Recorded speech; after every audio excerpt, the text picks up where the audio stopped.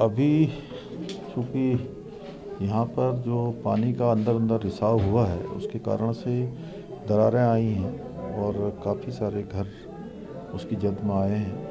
हमारा प्रयास सबसे पहले तो यही है कि सभी को सुरक्षित किया जाए, सबकी जान माल की सुरक्षा की जाए और जो ज़रूरी जो इंतज़ाम है, वो करने के लिए हम लोग सभी प्रकार की तैयारी करी हुई है, कर रहे हैं। लोगों को सुरक्षित स्थानों पर ले जाने का हमारा आ, सबसे पहला टास्क है। देश विदेश की ताज़ा खबर पाने के लिए हमारे चैनल वी न्यूज़ को सब्सक्राइब करें व बेल आइकॉन दबाना न भूलें।